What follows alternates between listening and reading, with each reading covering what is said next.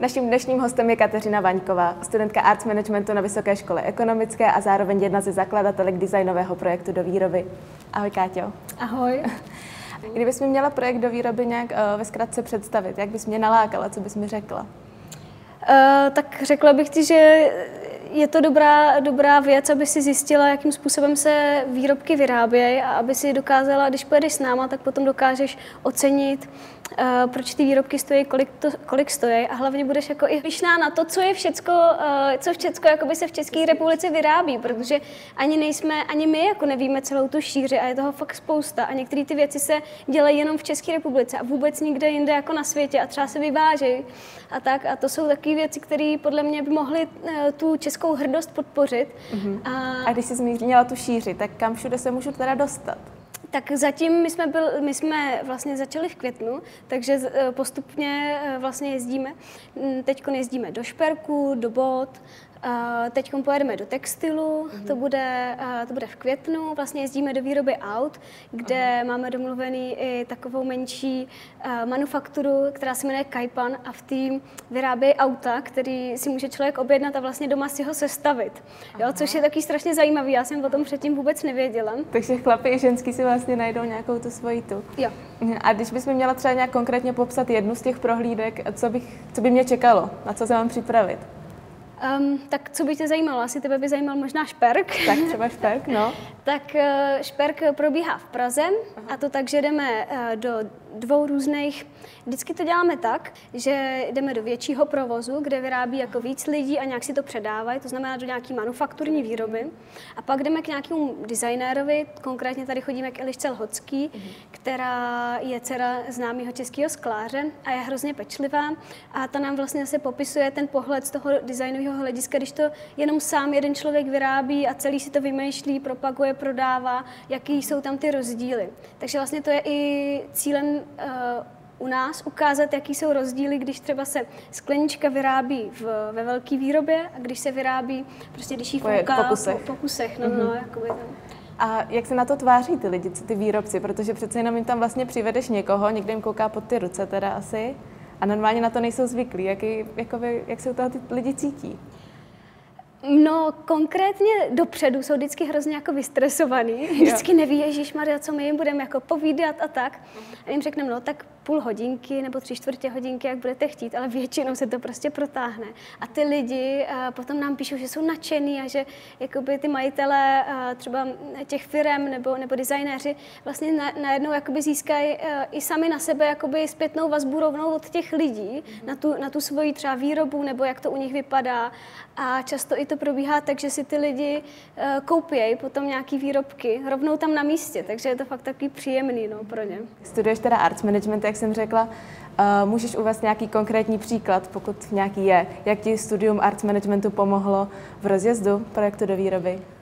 Um, celkově mě pomohlo asi ta atmosféra na VŠE, která je přece jenom hodně jiná, než já jsem na bakaláři studovala vlastně design, design úplně uh, vlastně v Plzni. Tam ta atmosféra byla úplně jiná, tady je víc obchodní atmosféra a uh, v arts managementu mě pomohlo, že jsou i jiné druhy umění než jenom výtvarné, ale je třeba, uh, než, nebo jen, jenom design, na který jsem se předtím soustředila, takže mi to jako hodně rozšířilo obzory. A je něco, co bys třeba nevěděla, že máš udělat z legislativního hlediska třeba, nebo tak, co ti na VŠE řekli, tohle to se musí udělat předtím, než chcete založit toto a toto? Spíš eh, bylo pro mě zajímavý předmět objevování příležitostí a tvorba eh, manažer, eh, tvorba modelu prostě obchodního, což byl hrozně zajímavý předmět a vlastně ten mi dal nějaký pointy na to, jak se na, na to podnikání ze začátku jako koukat. Aha. Kolika člený tým jo, vlastně stojí za tímhle tím celým projektem? Eh, ze začátku jsme byli tři a teď vlastně jsme čtyři. Jedna ještě kolegyně z Arcu se k nám přidala. Uh-huh, uh-huh. Uh, co bylo nejtěžší při zakládání toho projektu? Co prostě byla taková legislativní třeba bariéra nebo jakákoliv jiná, která fakt jste si říkali, no tak to bude. My jsme jako vůbec nevěděli, jestli to lidi bude zajímat a Aha. jestli budeme schopní se do těch firm jako dostat. Uh-huh A, a tak a vlastně uh, to jako naplnit ten, uh, ten autobus, třeba když se jede, my jezdíme po takových, s takovými menšími autobusama, tak to je taková bariéra, to byla, tak naplníme to, nenaplníme to, bude muset celý ten autobus platit a jako jo, tak ta, takováhle asi bariéra tam byla. A jakou jste zvolili marketingovou strategii pro to, aby se to teda rozšířilo mezi ty lidi? My jsme uh, z především propagovali na Facebooku, na, na Instagramu a zkoušeli jsme i nějaký AdWords, to ale na nás vůbec nefunguje. A pak jsme uh, různý články do odborných médií, uh, vlastně designových. Aha, když mluvíš o těch médiích, jaký to je pocit, že o vás psal Forbes? No to bylo teda hodně, hodně zajímavé. Musím říct, že když se mi ozvali jako uh, e-mailem a že by teda chtěli udělat, že by teda chtěli udělat nějaký rozhovor, tak úplně, cože Forbes?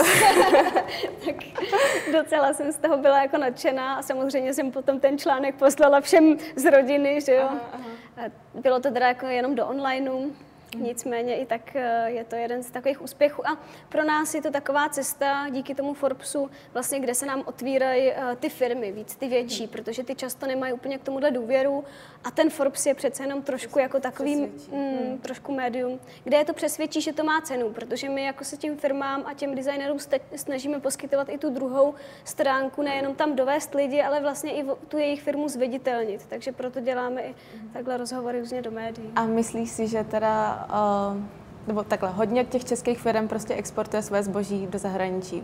Řekla bych možná i drtivou většinu, když uvedu příklad třeba uh, Crystal Glass nebo Preciosa nebo takovéhle.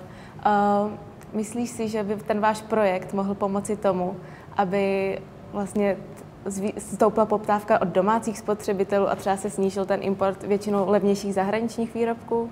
Jo, to, to, bysme, to je vlastně trošku naším cílem, jo, aby si ty lidi trošku začali koukat na to, co vlastně je pod tím, co je za, za značku, jestli, jestli to je v Číně vyrobený, anebo jestli to je u nás. Mm-hmm. A, a aby si rozhodli, jestli si koupí o 10 korun nebo o stovku dražší věc, ale vlastně dají tím zaměstnání jako českým firmám a českým lidem. No. Mm-hmm.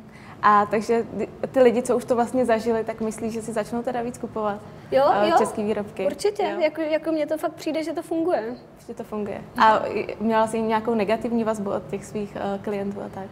Um, jedině, co, co jsme měli za negativní vazbu, bylo teď naposled, když jsme dělali do výroby nábytku a vlastně my jsme tam eh, byli v areálu, v kterém nebyl jako možný být uh, jako restaurace, takže lidi jedli, jedli za pochodu svačiny a to teda byla negativní vazba, že to by si teda chtěli sednout. Jako, no. tak to už je taková drobnost. No, no, no, ale tak jinak jsou většinou fakt jako nadšený. Občas jsou teda, když jedeme z toho celodenního výletu, tak jsou tak unavený potom, protože fakt jedeme těch prohlídek tři třeba za sebou, mm. tak jsou tak prostě usnou, jo, a pak je musíme v Praze pomalu budit. Aha. A může si i něco zkusit?